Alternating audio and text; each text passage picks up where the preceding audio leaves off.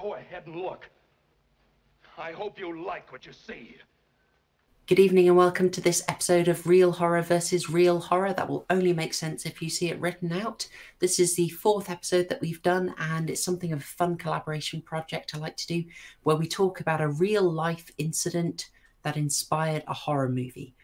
I am stretching this somewhat because Rope is not exactly a horror movie, but uh, darn it, it is my channel and we're just going to go with it. Um, here to discuss Rope is a man who's taken on all the hard work of researching the real life case that inspired this. TCG, how you doing? I'm very good. Thank you for having me on. This is, uh, I think it's our, it's our second one now that we're doing together, isn't it? It is. It is. It's you and Shrouded have got two films each. Right. You're gonna have to get me back on for a third. I'm not going to be outdone by that lad.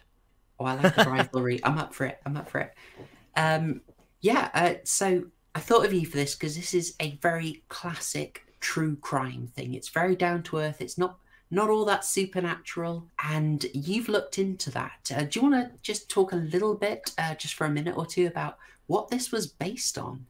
So yeah, so this this was based on the uh, real life events that took place back in May 1924, where uh, two friends, a la, mm, you could argue, mm, you could argue lovers.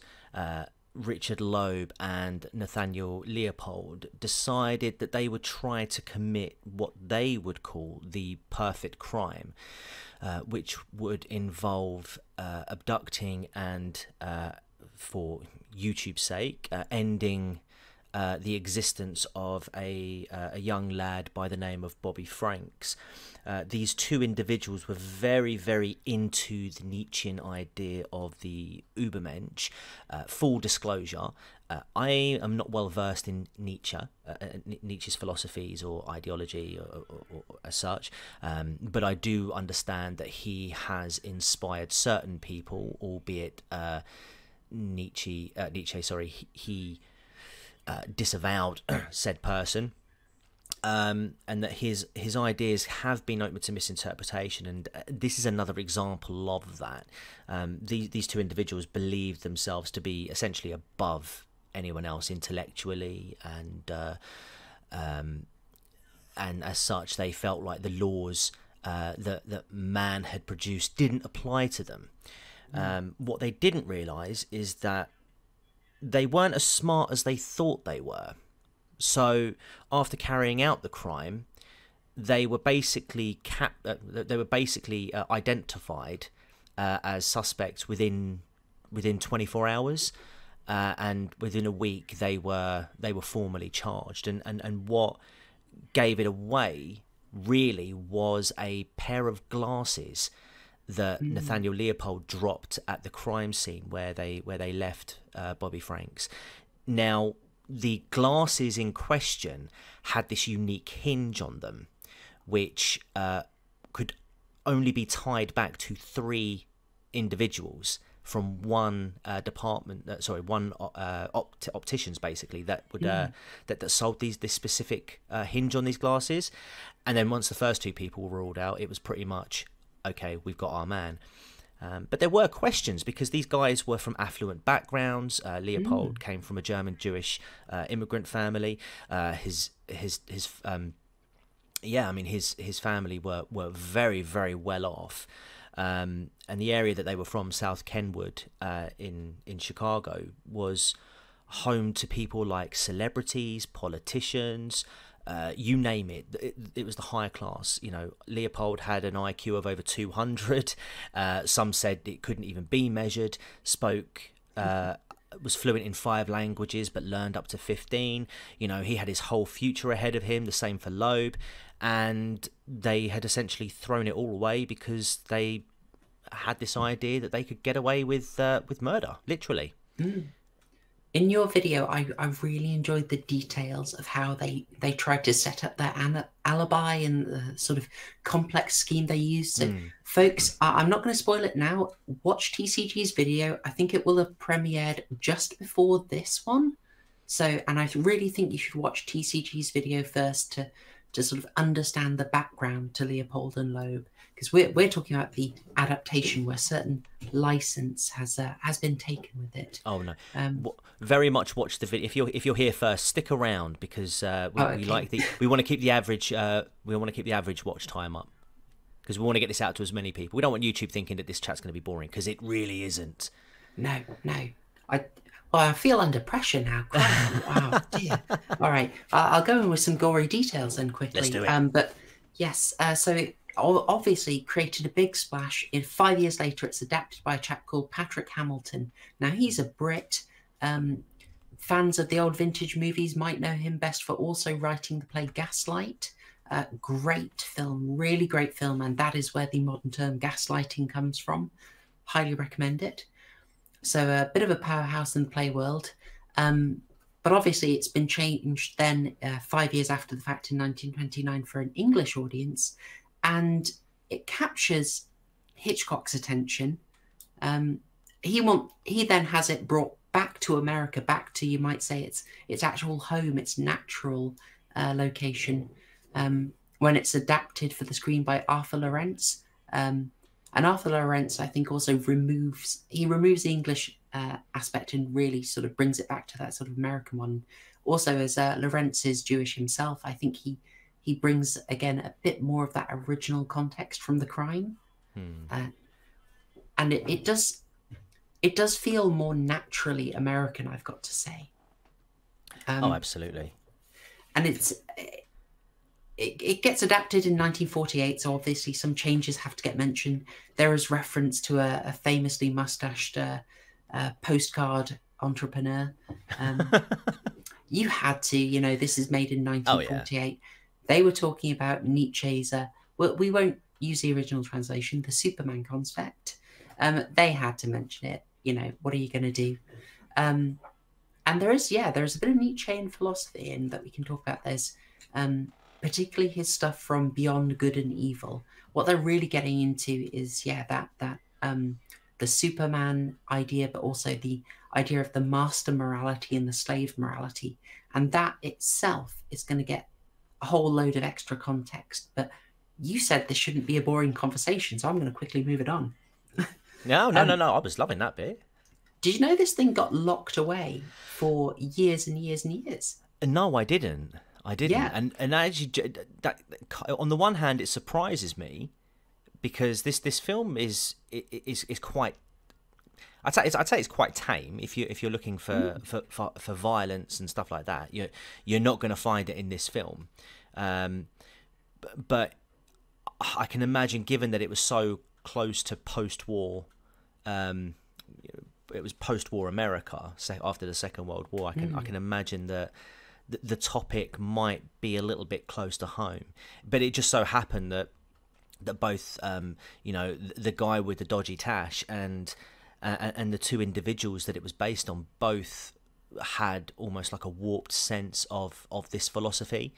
And um it really sort of I, I feel like was it his name? Rupert in, in the film who plays like the teacher. I think it's James Rupert Stewart. Cadell, yeah. yeah it's James Stewart's character isn't it? Yeah. you know he he kind of represents that the not the idealistic version but the but I suppose I I would say like the true the tr- the true version of what uh, Nietzsche Nietzsche was trying to trying to get across. Like it wasn't supposed to be uh, again from my understanding. It you know if you if you take what what he was saying, is it wasn't supposed to be something that was that was inherently you know you would you would uh, use violence to achieve the, you know what what it was that he, was espousing. It was just sort of like a a, philo- a philosophical uh, conversation that he was trying to sort of um, hypothesize, if you will.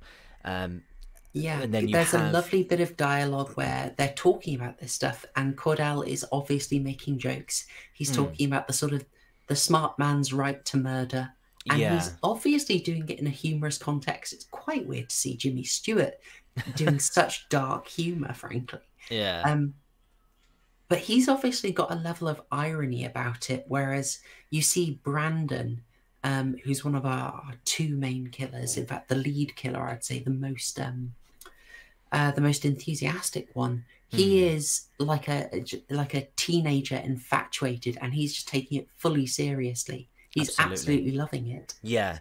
Definitely. I, I, would say, yeah, I, I definitely say that um, James uh, Jimmy Stewart's character Rupert was was kind of like the embodiment of Nietzsche. Uh, Nietzsche, mm. sorry, and uh, again, because of how Leopold and, and to a to a lesser extent Loeb uh, essentially idolized that philosophy to the point where Loeb, uh, Leopold was absolutely convinced 100% that you know he was above all else and that the rules didn't apply and by extension Loeb was was was in that same category um, but what was really interesting as well is is Loeb was kind of the driving force behind mm. the, the sort of like the, the, the, the more lesser crimes to begin with. Um, but again, Leopold was was infatuated with Loeb, so you know he would he would sort of tag along.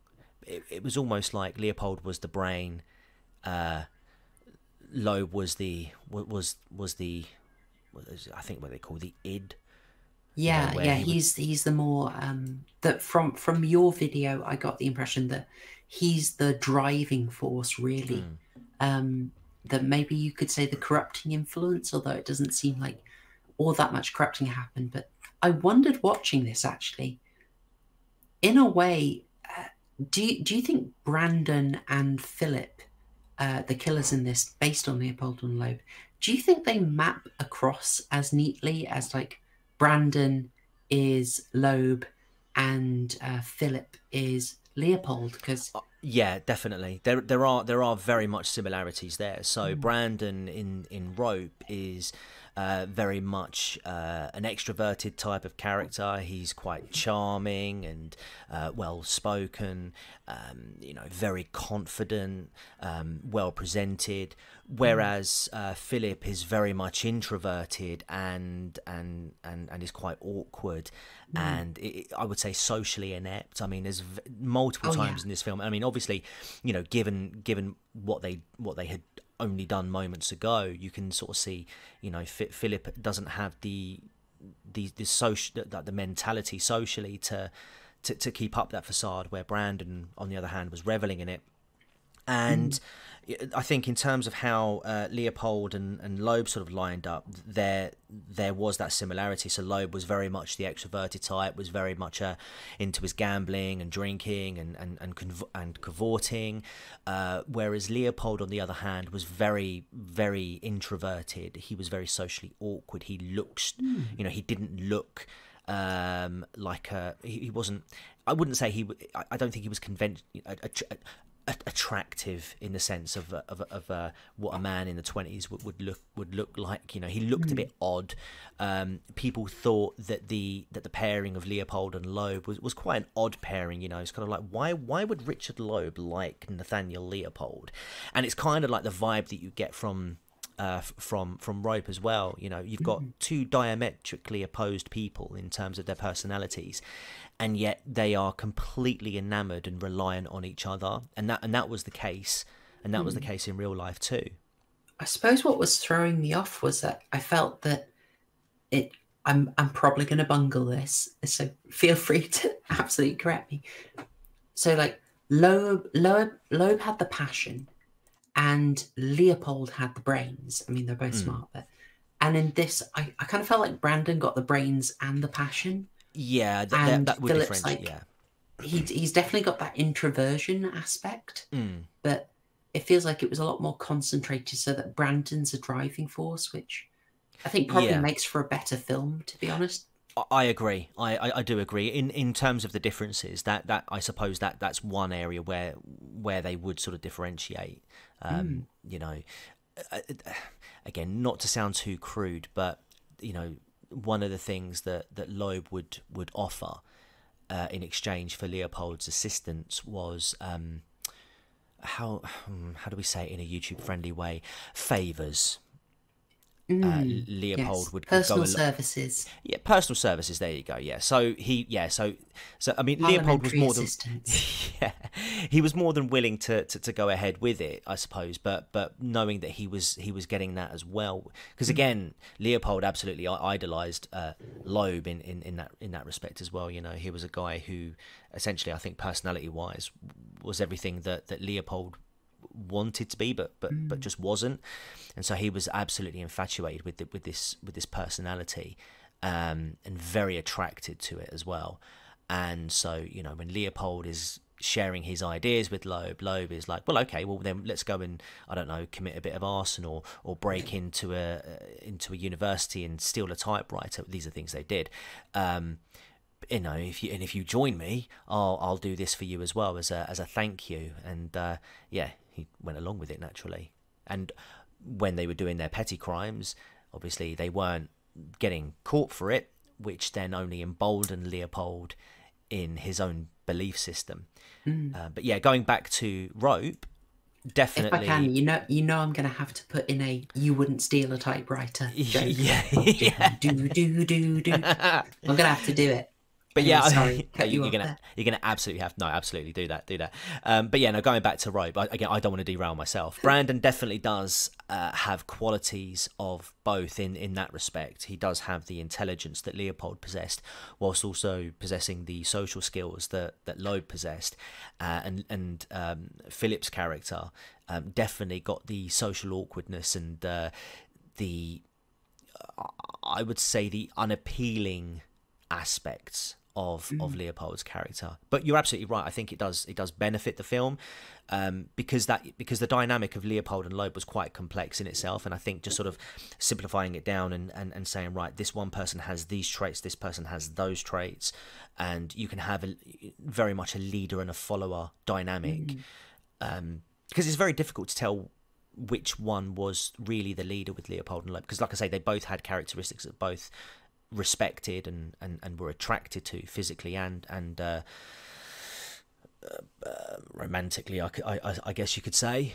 Um, But yeah, the, the the film does well to sort of hone that in and and harness it between those two characters quite quite uh, evenly. I think.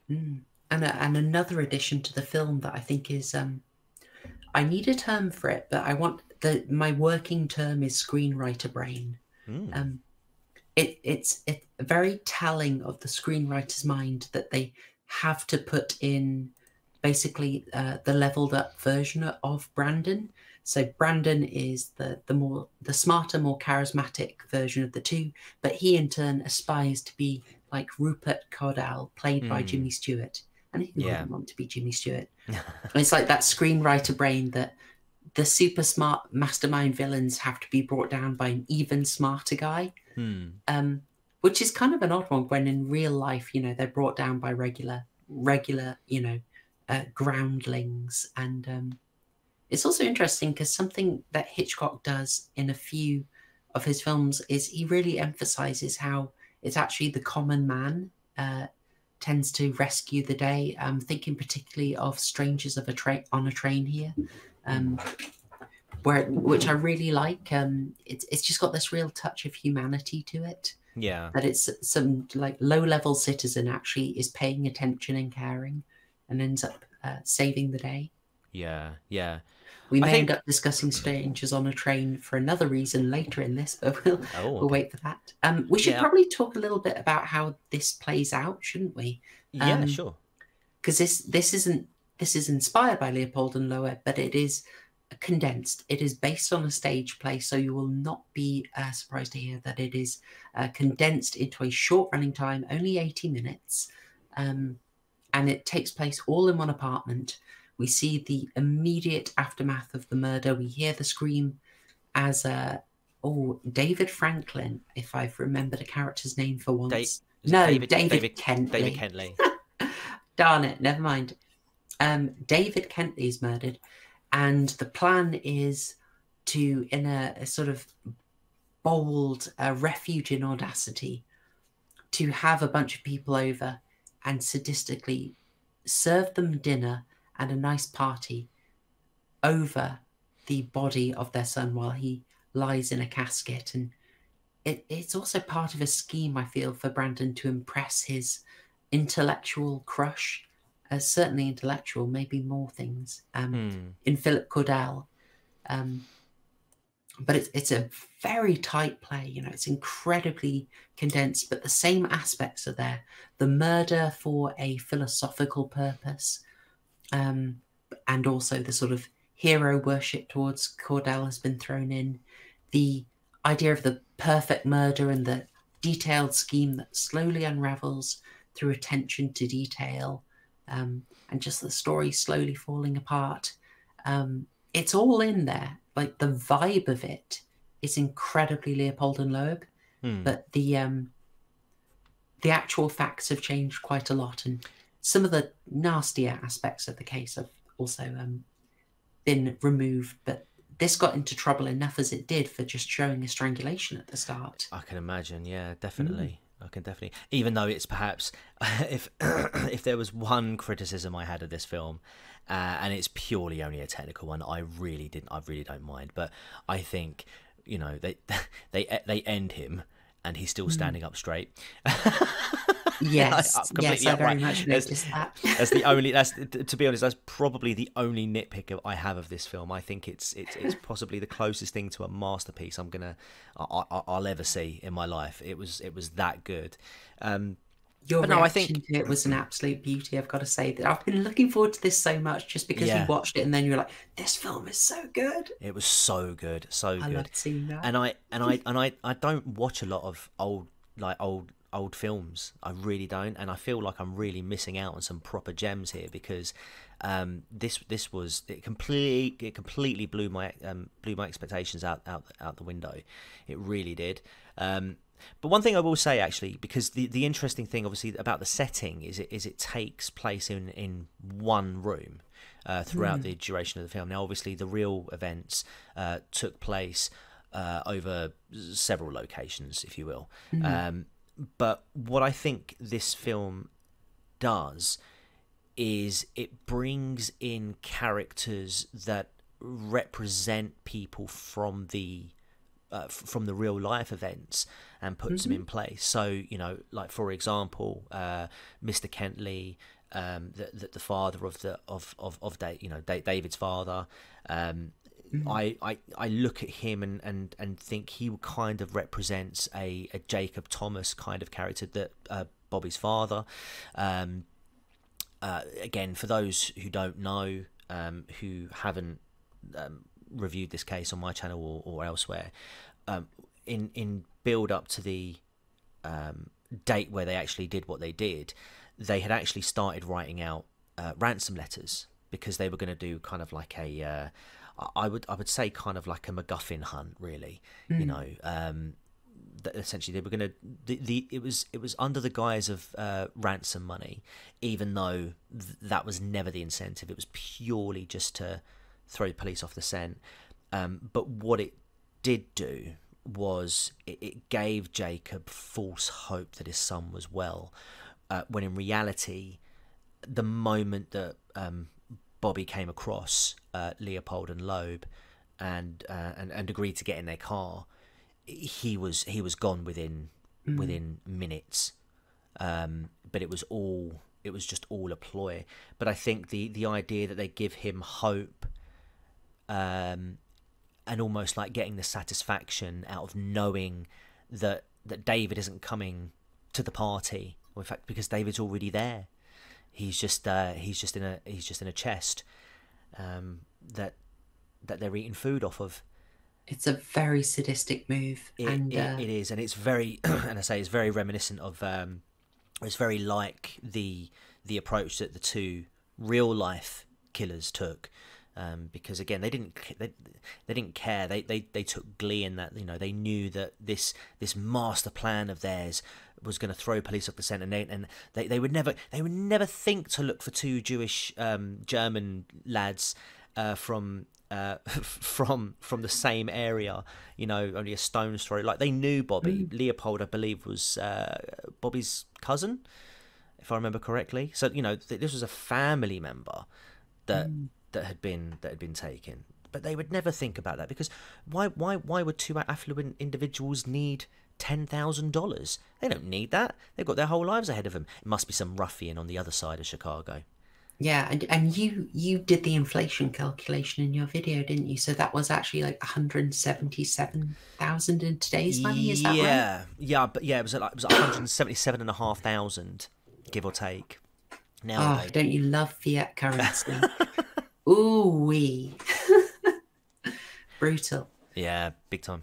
Yeah, as you say, it, it throws them off. Um, interesting. The the whole thing about the the MacGuffin trail. I love that that phrasing of it. Um, rem- reminded me of our favorite sort of um, ultra luddite uh, cabin dwelling uh, quadratic equation aficionado, Mr. Ted Kaczynski, and his just leaving trails of breadcrumbs that went Yeah. nowhere. Uh, and and this was the same here. You know, they're going to do all of these steps, and I mean, Jacob, bless his heart, you know, he got so flustered that he forgot where to go at one point, but uh, which which basically threw a threw a spanner in the works for for the two for the two lads in real life. Um, but again, it's like these little things. Again, uh, you know, something like that, for example. Um, you know, th- there's little moments in in the film where Brandon has it all planned out. It's all planned out. You know, everything is is set to a to a timer, and there's moments where things don't quite go the way that he predicted it would go. And and then like Leopold Loeb, it was a case of okay, well, what do we do? How do we um, let's just rejig the plan slightly or, or, or continue and press ahead, which is which is what they did. So again, uh, similarities, albeit in a different setting. yeah, you get. There was a rule I heard about filmmaking. Um, if they explain the plan to you, it will fail. Oh, absolutely. Which is, I can't unsee that now that I I see that that's a cast iron rule. Um, they don't really give you the plan here, but as you said, uh, Brandon just seems like he needs to one up it. He's not satisfied with the killing. That's not enough. He needs to actually intensify it. Now he has to serve them dinner over the son's body in the chest. He needs to just constantly up the ante and make it more extreme. He needs to goad the guests together who he knows will be socially awkward around each other. Um, He has to invite the one person who who intellectually is on his level, if not above him. Yeah, he needs in- to beat him in some Yeah, way or yeah. just sort of win his affection, maybe show him. I think on some level he wanted to win uh, Rupert over and have him say, Oh, absolutely, you're worthy of me, my boy, Yeah. or something. Hmm. Um, because of th- the history uh, that they had where they felt that Cadell had that philosophy, that Nietzschean philosophy. Um, I might just quickly talk about that if you want. Just, just Yeah, go for it. that. Please do, yeah. So, cheers. So, people will be familiar, and you know, Nietzsche isn't my thing. I know a very basic level, but um, they'll be talking about the ideas of the Übermensch and um, master morality and slave morality. And that is a Nietzschean idea that you don't have a flat level of morality, you have ethics that are derived from your situation. So the example would be um, the sheep would say that predation is awful and everyone should just eat the grass. You know, it's terrible. But the wolf would uh, praise strength and uh, being an excellent hunter. So your morality would change completely. Your values would change based on your standing. And this is an idea that's, you know, people would associate this as a very right wing idea, but it's also seen very much in left wing circles as well, um, via standpoint theory, as in, um, in its simplest form, you know, you think the system's fair because you do well out of it. It's these, um, the idea turns up in, in different places in slightly adjusted forms. And so, in the case of rope, what Brandon is trying to do here is say that the rule, the common laws are made for the common man, and that as an intellectually superior being, he's able to transcend them. He shouldn't be constrained by it because they aren't made for him. Hmm. Um, and so he takes this as an idea to just murder to show he can get away with it. Um, and why not? He should um, kind of flex his ability here. Yeah, I mean, it's it's easy to see how that kind of ideology can be warped and, and manipulated into something uh, more nefarious. Absolutely. Um, because yeah, I mean, as like you're saying, in, not not the standpoint one, but the other bit when you were talking about the sheep and the wolf, it's easy if you just sort of like a baseline, everybody's the sort of at, at that sort of level, you can understand how the perception and and the, the the morals that that a creature well I don't say morals necessarily but you know the rules and and and, and what's good for you and what's bad for you uh, based on where you are in that food chain let's say um, would it's it's a debate that goes on constantly you know uh, as, how can i say you see it a lot in how much something should be regulated you know uh, people will be saying oh, government stay out of this. I don't need it. I can make decisions for myself. Hmm. and then a lot of people who maybe don't make as good decisions drive the pressure for regulation to take Hmm. the choice out of your hand. I'm trying to this is this is not a political discussion. This is No, no, just no. loving a film but i'm just trying to point where the ideas are. It would be interesting to understand uh, Nietzsche's philosophy uh, in more detail. Yeah highly recommended. Beyond good and evil would be the books to uh, go for for that. Um it's also nice that they've thought about it a fair amount and you have um, rupert Cadell kind of still holding that philosophy but he seems to come out of it and say since he still very much is superior but he then sees himself as having a role of stewardship.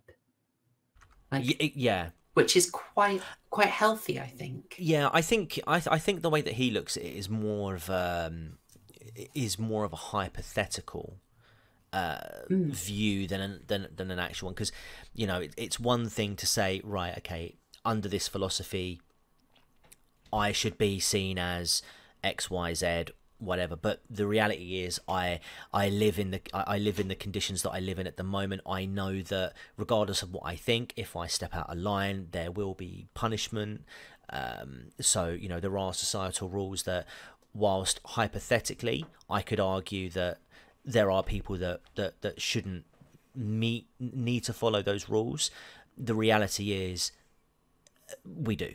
And there is no avoiding that you know and he and he isn't the person that's going to make those changes but he will gladly share the philosophical um, understandings of it so that I don't know, bet to, to maybe you know again better educate people, but again you know as as with all philosophies, they can be warped and manipulated and twisted into something that it that it never intended to be, uh, as as was the case with with Brandon and Philip, I suppose, and you know to a more severe extent, Leopold and Loeb. There's so many aspects of rope that we could dig into. Um, something you mentioned just a few minutes ago that I thought was a really interesting tangent was how Mr. Kentley uh, is there representing Jacob Thomas, Bobby Frank's father, Hmm. and that bit where Jacob Thomas is so distraught that he just goes to the wrong location. And I thought of this in rope the way that Mr. Kentley is just he's an old man, he's a gentle old man, and he's so well mannered and just shaken up by everything that you really feel the emotional weight of the murder in in it. Hmm. It's it's this great counterpoint to the sort of fun and intellectual games Yeah. that you just see the dad there sort of getting slowly more and more worried. Yeah, it's it's an it's an interesting position for Mr. Kentley to be in um, uh, as a viewer, in particular. You know, you're getting the on the one hand, you're getting the sympathetic vibes. For, you know that you're you almost wanting to scream at the TV like your son's in the chest, your son's in the chest. Like they they you know these two have done it, but at the same time, there's almost like a a, a, a, a curiosity as to as to sort of you kind of want to see where it goes and uh, there's yeah. almost a sense of excitement because you know obviously as the film goes it's going to develop and it's going to ramp up and it's and it, there's almost an exciting vibe because you you hope that they get caught but you almost wonder what happens if they don't um and again, I imagine these imagine these were the feelings that Leopold and Loeb were having at the time when they were carrying out their crimes. Because again, when they when they when they did what they did, they didn't actually have a, a specific person in or, or, or adolescent in mind.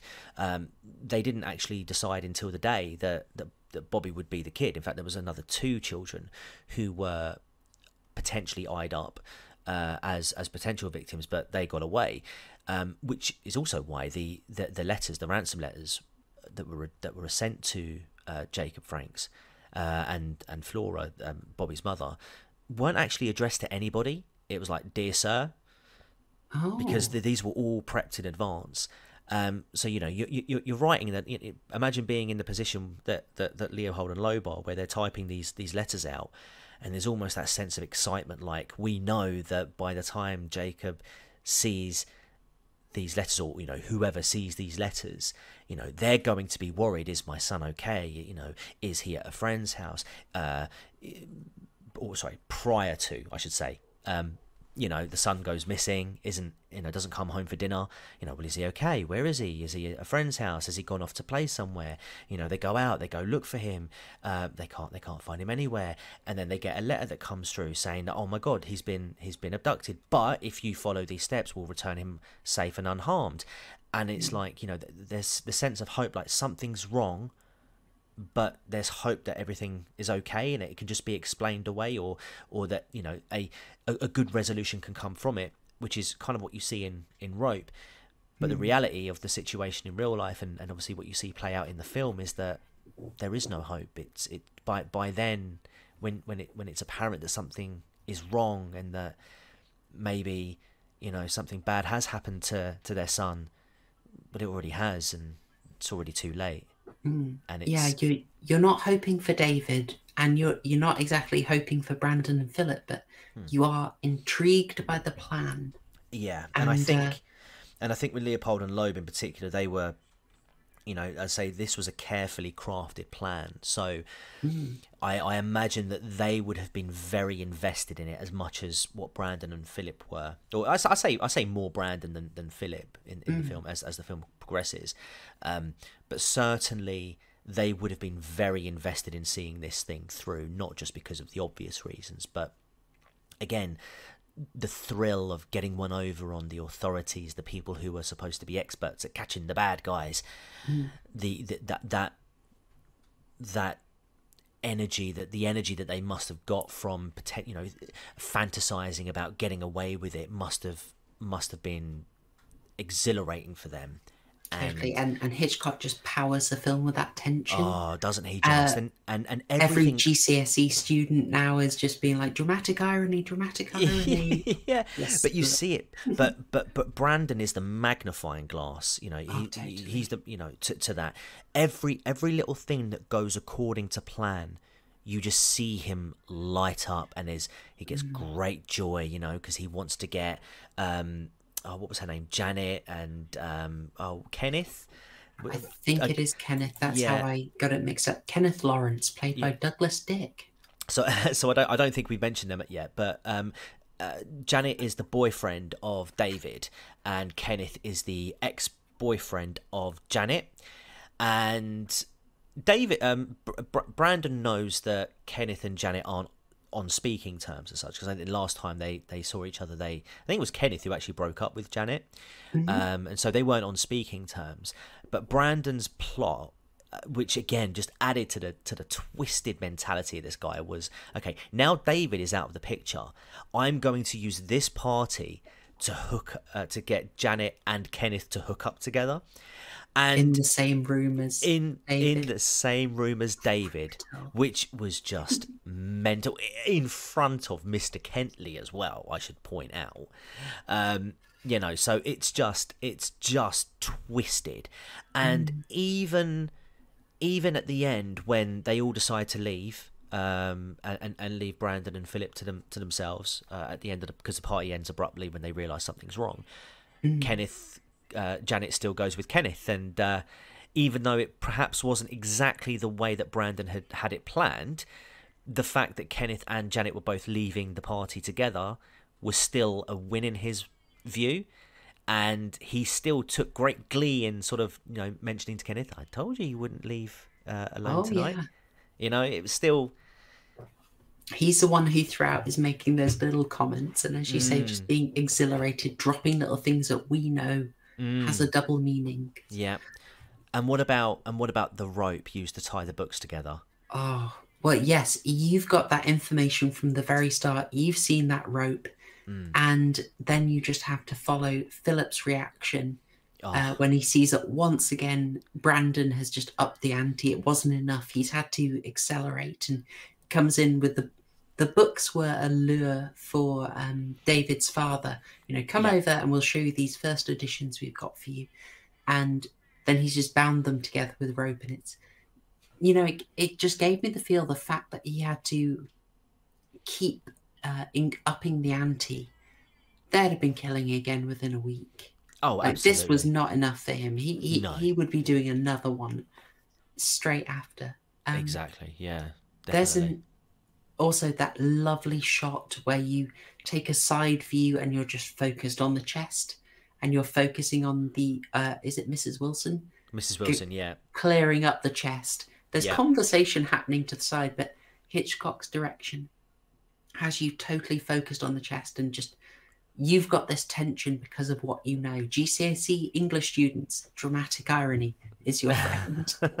um, I mean, Hitchcock was a big fan of it. Um, he's also a massive fan of just this idea, the plot based around the perfect murder plan. Mm. Um, I, with no spoilers whatsoever, if you liked Rope, then Dial M for Murder is absolutely the next Hitchcock that should be on your list. Hmm. Um, very, very similar, a bit more graphic, um, but I, I absolutely loved it. Um, actually, speaking of the graphic nature of this, um, as I said, they, they did have a bit of trouble with this one. He had a few complaints for opening with a strangulation, which is, you know, the most graphic thing that happens in the whole film. Um, when I was watching this, I, I sort of saw a bit of subtext. I foreshadowed this earlier. Um, when they're talking about how the laws shouldn't apply everywhere, like if you if you got the big brains, you should be able to go above outside the rules, right? Hmm. it really made given the complaints that were had about the violence in the film whilst acknowledging the wonderful script and direction it made me think that hitchcock's having a bit of a thing here about how as an artist he feels constrained by the laws of the time the Hays code uh, I, I'm, I'm weak on my american film censorship so i i don't know if the Hays code had, had sort of faded out by 1948 but Didn't um, didn't Hitchcock have um, issues with uh, previous production company that he was with? In fact, am I right in thinking this was his first film outside of that? Oh, I- I could not tell you for definite. I know I- this is the first of a sort of um new he's he started a new run of films based around these really constrained sets. So I I, uh, I was four I, years earlier he'd done Lifeboat. Uh, Yeah, it's 'cause a good example. All 'cause happening 'cause in a lifeboat. because I, th- I think I read something and it, and I think it might have been when I was when I, when I first watched this after you recommended it because I looked at I look I think I did a little bit of digging but I know it was either that or when we were doing the um uh, the Alfred Hitchcock uh, anthology series Oh, um, yes. videos but there was a I'm pretty sure it was either this or it was the Alfred Hitchcock program that we were watching but he had recently come out of a uh, a deal or a contract and essentially was Hmm. able to produce a film essentially with full creative um, freedom. I'm sure it was Rope. I think you're so- correct. Yes, it's his move to Transatlantic Pictures. Yeah, Um away from uh, is it away from Universal? I think it was. and yeah, yeah, he he he goes to he makes a, a independent production company with uh, Sidney Bernstein uh, called Transatlantic Pictures, and Mm. Rope is the first one yeah, that he does with them. yeah, and, and essentially this this gave him full creative freedom, Mm. and uh, it really shows. So if you're talking about constraints Oh uh, yes, within rules and, and boundaries, then what a what what a film to express your disdain for it. we have not even mentioned the fact that this is shot as real time, Oh, of um, course.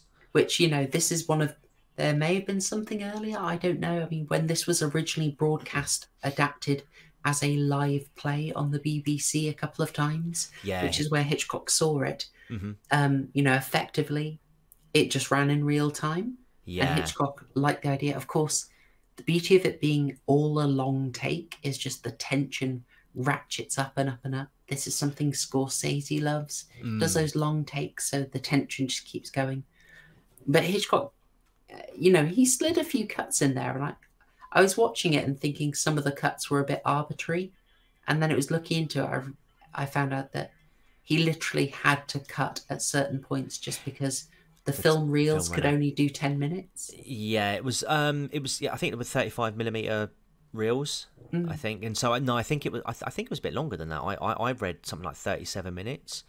Oh, interesting. It might have been a bit. It might have been. I, I don't know. You could you could be right. It could be it could be me wrong. But I tell you what, those transitions between um, re- replacing the the films were, were brilliant. So again, for those who haven't seen it, highly recommend it. You'll notice a few times in this film where they get very close to characters, like right up to the back, to to the point where the camera goes black because it's like pressing up against them. It's those moments where the film has been changed over, and then when they pan out, that's the uh, that's them um, recording on the fresh batch of uh, of, of film reel, which I I, I loved because when I heard that it was a one shot film, and then I heard about the limitations, I was like, well, hang on a minute, how did they do that then? And it wasn't until I dug deeper and I saw they did it like that, and I was like, I didn't even notice. a lot of them pass you by unless you start sort of obsessively watching for them. Hmm. Yeah, in And fact, I think yeah, I think when we when when I watched because I've I've seen it like three times now. I think on the third watch I spotted another instance of it. I spotted another instance, and that was more towards the end. I think where you've got um, Brandon, Philip, and and, and Rupert. Uh, This is right towards the very end of the film. and- and Hmm. Opening do the another- chest. That's right? it. Yeah, Yeah. yeah. And I, That's and a I missed one. yeah, and I and I missed that the first two times, um, and it was when he did it the third time. I was like, oh my god, that's another camera. Ch- that's another reel change. They sneak him in. They have to Yeah. pay attention to the details of this one. It's it's lovely.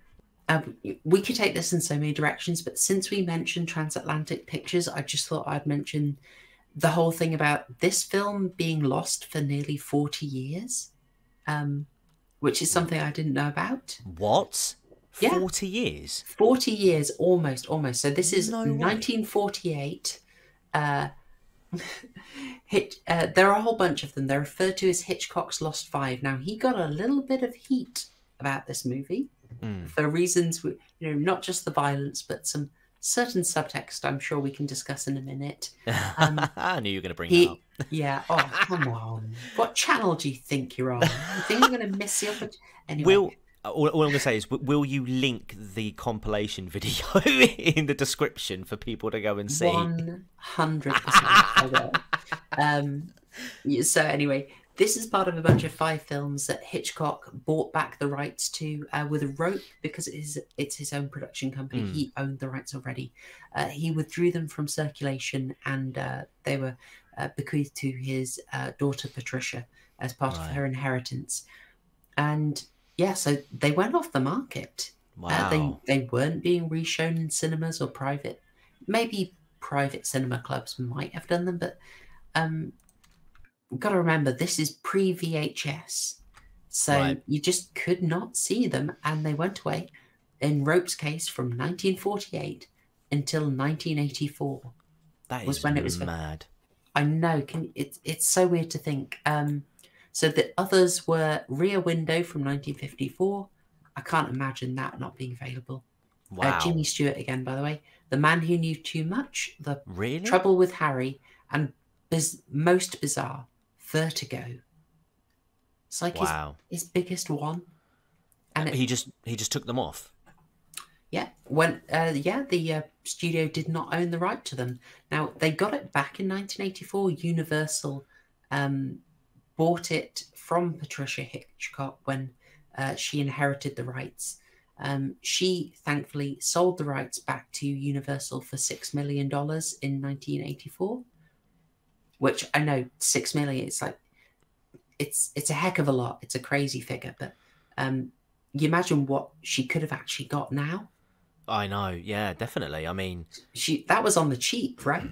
yeah, I feel I feel like she got mugged off. Tell you what, I'm gonna I'm gonna do the old inflation calculator.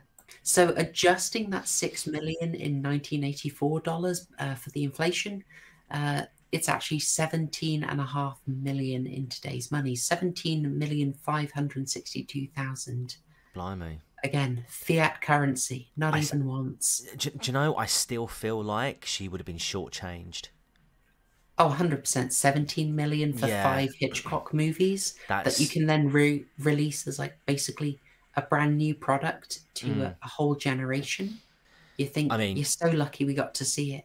Yeah, I mean, six million isn't anything to to to, to sort of scoff your nose at, but I mean, yeah, when you're talking about who whose property it was and the the value on that, I think you know y- you're easily talking double, triple that. I think. Oh, totally. Wow. Totally. I, I just hope she maybe got some uh, rights to a percentage, you know. Hmm. Here's hoping. I'm sure she did fine out of it, but still you you do you do think basically you want a percentage of these. You want the um what what's the thing actors get when the thing is Oh, the- reshown oh, on TV? uh, royalties. Yeah, royalties and residuals. That's Hmm. the word I'm after. Um, so uh, there is another reason people might not have seen Rope in the cinema, um, especially around Tennessee, I gather. People looked at this innocent tale of a little murder amongst friends, and uh, they they said there was something nefarious in it. Can you believe that? Whatever could you mean? Horror show. Whatever could you mean? some people have it have it on the brain so much that they say rope is packed to the rim with gay subtext. Can you believe it? No. No. Pity we, we couldn't have done it with the curtains open and the bright sunlight. And we, we uh, did do it in the daytime. Brandon, how did you feel When? during it? I don't know, really. I don't remember feeling very much of anything. Until his body went limp. And I knew it was over. And? Then exhilarated. I know, shocking, shocking. That there may be something there. And in fairness, Arthur Laurents, who uh, adapted this for the screenplay, um, he is he is a very gay person. Um, and as any good physiognomy check will tell you, uh, the stars are uh, not not um, exactly disparaged from such activities themselves. Brilliant. Oh, you, Yeah. you you speak of physiognomy checks. That was a thing in the actual trial.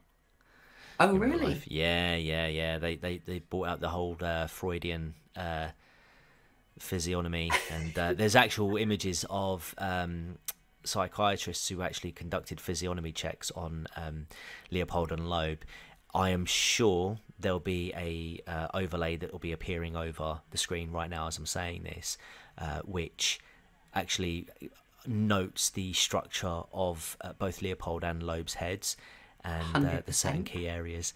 Yeah, it's it's it, it's crazy. Um, to, to- to it's sort of- not that crazy. I mean, I mean, if you've seen that study that shows that AI can predict if someone is gay with over 90% accuracy, Oh no! if you see five uh, from five different photos, they, they have an over 90% accuracy, Oh, which blimey. you must imagine is the gift from heaven to schoolyard bullies. I shouldn't laugh, but I mean, we all grew up in the nineties. I mean, Exactly. You'd have been rounded up for a gay check. yep, yep, yep, Form an orderly line, you know. yep. Can you imagine 90s bullies with that with that tool? It would be amazing. With AI, I know, right? It was. It, I'm. I'm. I'm getting. Uh, I'm. I'm getting Friday the Thirteenth Part Four vibes now. Um, with that geezer and, the, and his uh, so-called computer. Hmm. Am I gay? Those What clips are going in.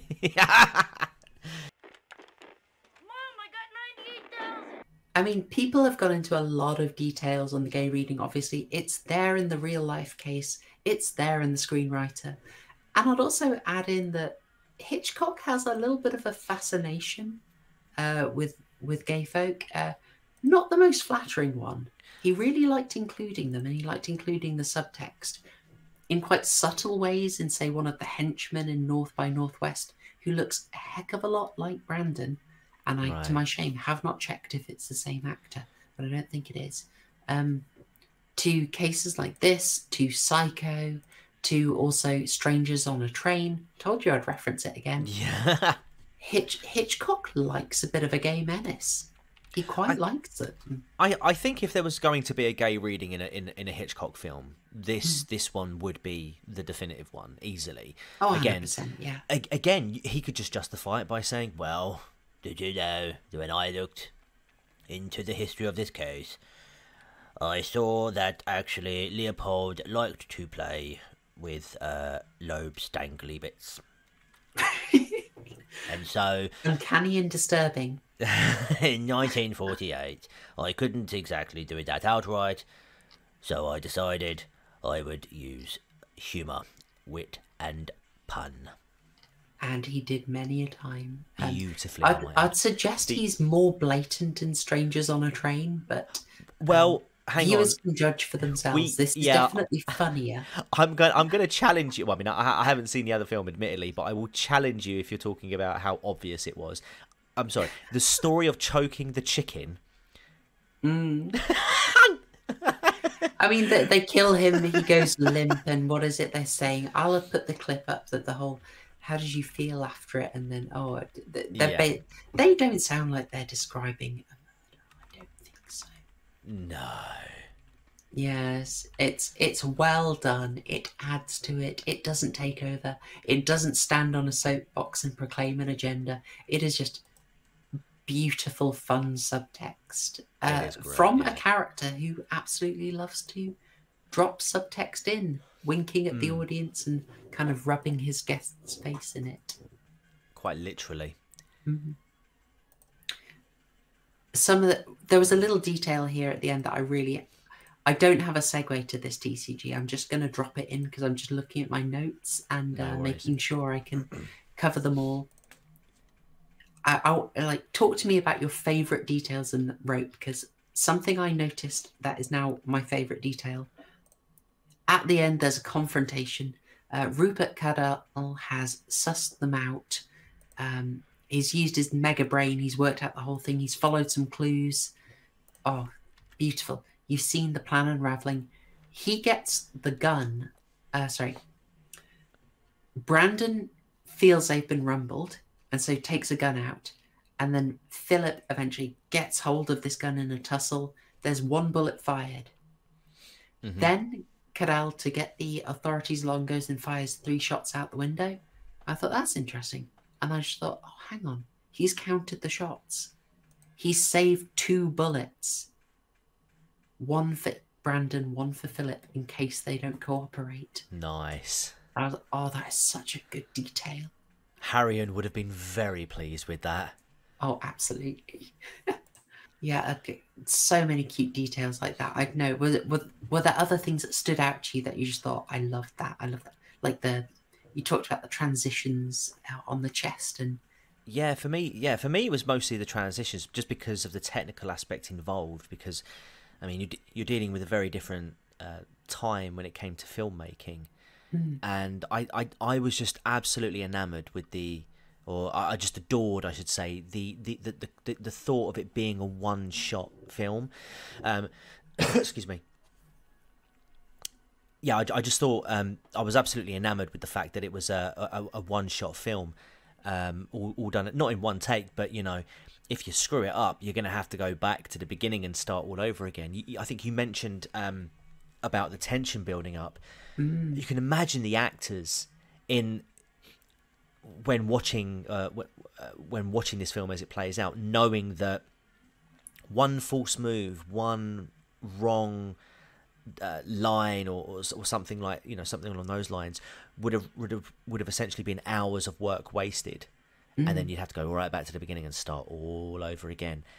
So yeah, Jimmy that- Stewart found it very frustrating. I can- I um, can- I especially because it's it's not just running the scene; it's the fact that there's really complex choreography. absolutely, and the set is changing like just because of the dimensions walls have to be moved the chest would have to be moved at certain points so the Hmm. camera can get in a certain place uh, crew would take a table out so that someone could stand where the table would be Hmm. um, yeah, I mean, it's it's, just. it's absolute feat of um, i want to say choreography I, almost I, do you know, I, I would, I would call it that. I would absolutely Mm. call it that. Um, to, again, there's so many moving parts that are going on that you, the viewer, aren't aren't even aware of. Um, this is why I, this is why I call it a masterpiece, Mm. uh, because it's not something that you re- that you really see nowadays in in films. Um, and I and I have a real respect for for, for for the craft that, that goes into it, not just from the actor's perspective, but you know the producers, the, the, the you know the lighting crew, the camera crew. There's there's such a collaborative uh, project, and you know, again, everybody has to be on point. Mm. And I think Yeah. it was even more difficult in those days as well. Uh, again, because you had the additional issues with with things like the amount of uh, with, with the amount of you know film that you could record in one go. So again, you know the, the the decisions to sort of like close in and then pan out from an object or a person just to give the illusion that the film hasn't stopped while a camera reel gets changed. Um, it- it's just it's just beautiful. I think I, I watched this thinking that it actually does come across as a uh, as a stage play 1st and foremost, but it just so happens that there were cameras there filming the uh, fil- fil- filming it as it's happening. yeah, at the time, just many stage plays were adapted for film. It was absolutely natural to have that crossover, but it it just really works in this thing. Um, it, it really captures the the spirit of the stage play, Mm. and I feel like you also like you said you watched it three times. I, Mm. Maybe you'll agree with this, but I felt like the first time you watch it, you're just entranced and you barely realize. Yes. it takes a while, and you realize just wait, this is all one take basically. Yes. And then it's over. It's over in 80 minutes. And then the second you just wrapped up in the story. And then the second time through, you're like, how did they do that? Mm. Like you Yeah. start thinking about the practicalities of just how they got people in places uh, for that. Yeah, this this film definitely has rewatchability just because each each watch you can you can you can essentially focus your attention at different areas of the film Mm. just to get a better understanding as to how how it all came together, which I think is pretty cool. Whilst also you know enjoying the story, you know it's not as if you can you don't have to take yourself out of the actual story that, that that's going on, but you can you can uh, sort of hone your attention into sort of different areas of the film, and s- just so that you can really, you know, as I say, understand the the, the process that goes in that, that went into making it. Just yeah, again, I, I I I think I would have to watch it a few more times to to really to really appreciate it. Basically, I I think I I couldn't recommend this highly enough. I am surprised. I'm not surprised given given the time it came out, um, but I think you know with other films that are around, I, I am surprised that it that it that it got the stick that it did in certain places where it wasn't shown, like you said, uh, in, in in certain areas. That surprised me somewhat. It is very hard to put ourselves back in the mindset of that time of 1948 and remember what the sort of sensitivities were. Of course, like a fair old range of sensitivities, really. Um, Yeah. What was permissible in, uh, well, particularly France, Sweden, and the US caused a problem for our British cinemas in terms of what you could show. Um, this was passed in the UK with an A certificate uh, towards the end of the particular uh, certificate regime when you had U, A, and H. And that meant that uh, you'd have to be accompanied by a parent if you were under 12. But basically, everyone can still see it. Um, Wow. But still, people did find it quite graphic at the start. Of the fact that you just open with that Hmm. um, throws people off a lot. But I think it's more the subtext that people had an issue with. yeah. But I, I'm so glad you love love this. I mean, it's, it's. I'm not saying like all the old films are absolutely brilliant, but when I just particularly love it when you show someone something from you know their grandparents' day or their great grandparents' day, and they can still get so much out of it. Yeah. it's an absolute treat for me. Yeah, I mean, it's it's a film that really just plays to its strengths. I think you know, it's it's a simple concept. Um, in in terms of, I wouldn't say the production of it was simple. I- In fact, if anything, I, I'd say that was perhaps one of the most challenging parts of it, if you look at it from a technical aspect. Um, but the, the the fact that it that it really does feel like you're you're watching a play. Again, at that at that time, at that time period, that is a good thing. Um, yeah, I just, I, I really, really appreciate this this film. Um, I, it, it's weird because obviously this was what 24 years after the fact. Um, but it's like you said right at the beginning. I mean, we talk about sensitivities. Um, there was a lot of hoo ha at the time when this when this murder did take place, um, because America was kind of going somewhat through a, a bit of a cultural revolution uh, at the time. Um, I think you had prohibition in effect in some areas. I think in that in that in that time, um, but you still had a lot of uh, excessive drinking. You know, in the old uh, what are they called uh, speakeasies. Uh, but you also had a lot of promiscuity going on around about that time as well. And uh, you you hear a lot of people these days talking about returning to, to tradition. Uh, we need to go back to X decade because that's when they had it right. Well, let me tell you, when they uh, when, when news of what Leopold and Loeb did came out, the the response was essentially we need to return to the 1800s uh, because our society is getting too out of control. The youth are out there butchering each other, uh, and the, the moral fabric of our society is is at an is at an ultimate low point.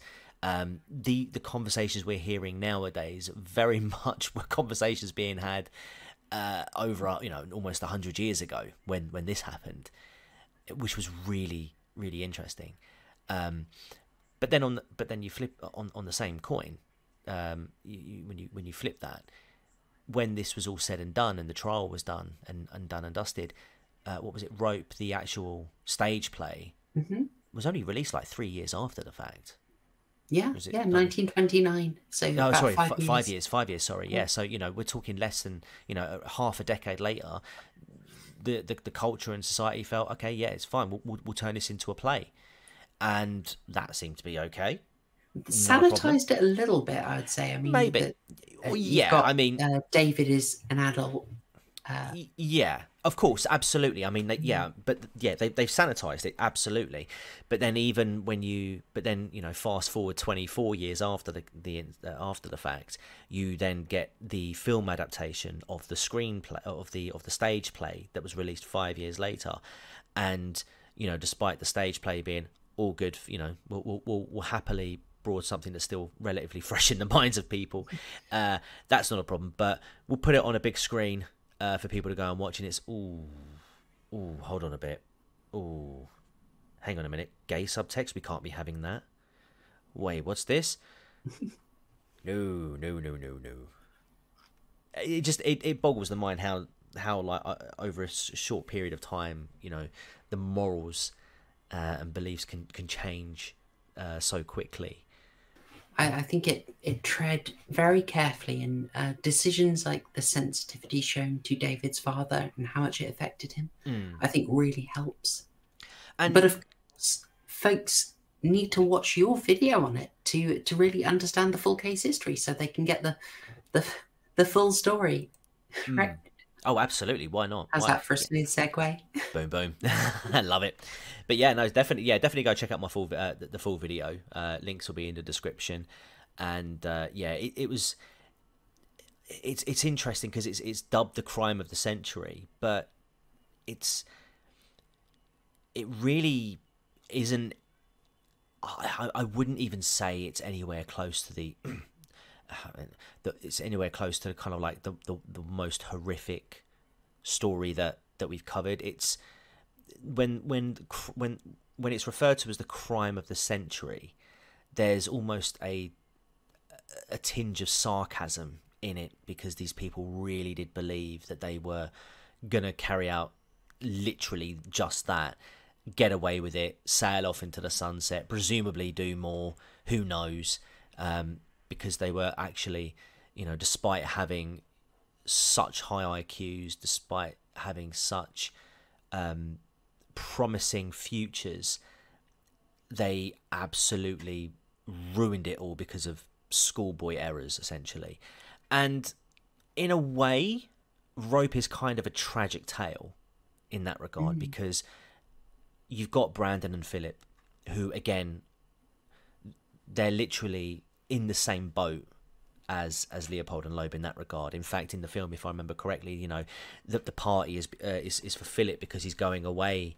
Um, traveling i believe it is or, or something along those lines. yeah lines he's going to which, be performing yeah which similarly leopold at the time was supposed to be traveling uh, across europe he was he was planning to go across to travel across europe i don't know if loeb was going with him or not um, but that was before he was to start uh, university um, mm. You know, he, he he had a hugely promising career. I mean, as a as a teenager, you know, he was um, he was really into ornithology, and he had published pieces in, in, in like ornithology textbooks and you know he was only 19 but people really respected the, the, the work that he put into mm. those articles and, and took him really seriously you know and it's it's tragic how somebody with that potential just absolutely blew it on their own stupidity and their own ego mm. and definitely and, and talking of tragedies you mentioned something else uh, about uh, Bobby Franks and one of his interests. Um, yes, the debating, so, I believe. Yeah, yeah. So this is something that I didn't actually put in the video at the time. Um, I, I, wanted to, I wanted to leave it. I wanted to bring it here specifically. So, um, Bobby Franks again was another promising young lad. You know, he was very athletic and into sports and and, and, and whatnot. Very good with. Um, uh, he was quite into tennis. In fact, uh, Leopold and and Bobby Franks were cousins uh, not fir- I don't know if they were first cousins, second cousins, but they were related in some way. And re- some sources say that they would play tennis together, or, or he and Loeb would. I, I forget which one, but mm. um, one of the things that uh, Bobby also used to like doing was was taking part in the uh, was taking part in a debate club, and he would regularly debate students that were older than him on all ranges of topics philosophical, political, you, you name it. And he was very, very good at debating. And uh, I think it was about three weeks before um, his death, um, he debated uh, on the topic of the death penalty. And he argued successfully against it, which um, was quite a, a cruel twist of uh, twist of fate, as Leopold and Loeb would actually escape the death penalty at their in their trial, thanks to a, um, solicitor or a lawyer by the name of Clarence Darrow, who was oh. Very renowned for uh, defending. He was a staunch advocate against the death penalty. Um, he lost one case years before he took on this case, and he vowed never to lose another one. Many called him uh, the uh, attorney for the damned or, or, the lawyer for the damned because he would often take on uh, cases like uh, potential death penalty cases and, and, and successfully argue against them. Um, but he mostly represented people in like poorer communities, which was odd when. Which was strange when uh, Leopold's, uh, sorry, Loeb's family approached Darrow and asked uh, him to represent their boys. Um, you know, because he was he he wasn't from the same cloth. He wasn't cut from the same cloth as these two. In fact, there's pictures where you've got Leopold and Loeb dressed all smartly in court, and then you've got Darrow sort of in between them, looking all dishevelled, and it looked like he'd had a bit of a rough night. If you if you catch my drift. I'm just um, going to put it here, Clarence Darrow deeply yeah, subversive. Deeply subversive indeed. But many people thought that he uh, he he'd sold out by basically representing these two, when when in fact his real motive was, uh, according to him at least at the time, was that if he can get these two off the death penalty, then essentially it would uh, cement his it would cement his legacy, and then he could go on and then you know advocate for like a nationwide ban of the death penalty if you don't want to watch my video, and why would you not? If you want a more detailed uh, run through of the actual trial, you should check out the Casual Criminalists uh, coverage of this particular case because they go into detail of the trial. Um, and it's really, really interesting because uh, the, the, guy that Darrow's up against, the, the, the state, is a guy called uh, Robert E. Crowe. And he had actually, th- these two were like considered enemies, if you will, like arch rivals, you know, mm. kind of like you think of like the final boss in Yu Gi Oh! in, you know, kind of like that. Hyde to uh, Darrow's right? Exactly. Yeah. Oh my God. Yes, absolutely. um, and when when Crowe found out that um, Darrow was going to be defending these boys, you know, he pulled out all the stops to try and uh, get the conviction that he that he so desperately wanted to get. We're talking over a hundred witnesses. We're talking Mm. going into massive detail about the crime, really emphasising the the, the the brutality and the violence of it. Um, you know, but then Darrow came out and said, right, well, these boys are going to plead guilty, so no trial by jury. I've just got to convince one person now, which was the judge, which completely uh, threw Crowe for a little bit, but he still pressed ahead. And at the sa- in you know in that same vein, he he he could focus all of that evidence and testimony and right at the judge, whereas Darrow was more um, very sort of um, is it pathos, the emotional side? Yeah, playing to pa- pathos. Yeah. Yeah, yeah, he very much played to that effect and, and, and sort of expressed the virtues of mercy, uh, which ultimately paid off. Although the judge would go, uh, "That's not why I'm doing it," but we, we, it, it's up in the air. I think. All right, I will put a recommendation, a link for that in as well. Uh, but obviously, so we'll put in a link to the Casual Criminalist video uh, in the description. But obviously, people are going to watch yours first um, before they go anywhere near that. Hell yeah, All right. do it. Well, I think that is probably everything on rope. I, I don't know, we could go for like three hours if we wanted to. We Oh try and do these a little more concise. Um, I've I've really loved doing the real v reel. It's it's so much fun, and we do have a long list of uh, other things we could look at for that. Oh, I, I honestly, this was such a joy to watch, and you you know I've been desperate to have this conversation, so I'm Yeah. so glad that we've had it now. Oh, that's brilliant. There, I I just want to hear your take on Dial M for Murder. One after this, I want to. I've just got to know what you think about that one because I think it'll be right up your street. And that recommendation goes for anyone else. If you watched Rope, if you like this, dip your toe into some more Hitchcock. Um, and Dial M for Murder is a great place to start. But yeah, I believe that's everything. Love doing these. More to come obviously, folks, go watch TCG's video. He has done the real life side of this. It'll be on his channel. Link is in the description. And uh, drop him a subscription as well. You, you know, he's my co-host on my weekly stream on Thursdays. If you want to see us talk about a horror movie in more depth and actually talk about a horror movie, I have bent the rules a tiny bit to cover Rope. But gosh darn it, I am not ashamed. Rope is amazing. It's our it's our Nietzschean philosophy. The rules don't apply to us. that is the perfect note to end this on. Um, but we are on YouTube, so I have to get the shills in. Obviously, you know how this works. Uh, if you like this, do subscribe to the video. Do leave a like if you've appreciated it. And if you want to go a little step further, if you you aren't sated by doing that, then uh, you can support this channel via memberships here on YouTube or on Subscribestar, um, and that'd be much appreciated. Um, but that is all from me. So I'll be signing off with thanks, y'all. Cheers. Take care.